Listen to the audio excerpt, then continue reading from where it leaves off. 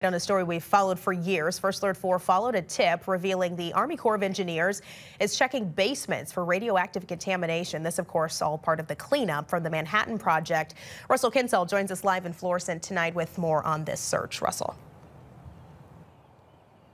Sam, right now I'm on Cades Cove in Florissant. Coldwater Creek is right over there behind these homes, and it's believed that six homes on the street were built on soil that has radioactive contamination.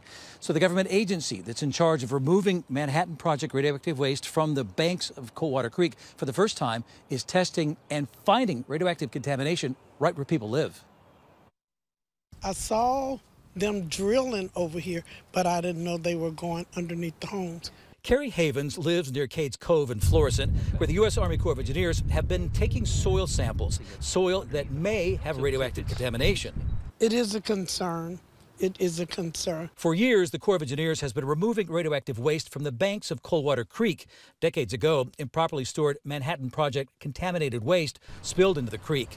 Karen Nickel with the advocacy group Just Moms STL has been calling for testing and cleanup of all contamination. Is it inside people's homes? Are you going to test inside people's homes?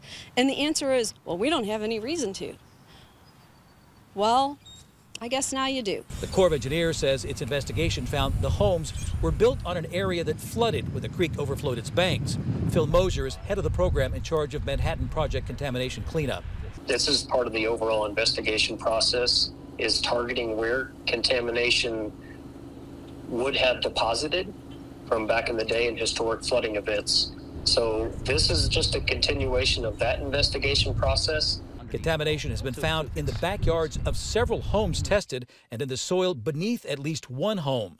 Uh, we've got several people who have grown up in this area who have come down with cancer and it makes you think. It makes you think. It really does. It's a concern. But the Corps of Engineers wants to tap down any concerns and says there is no danger.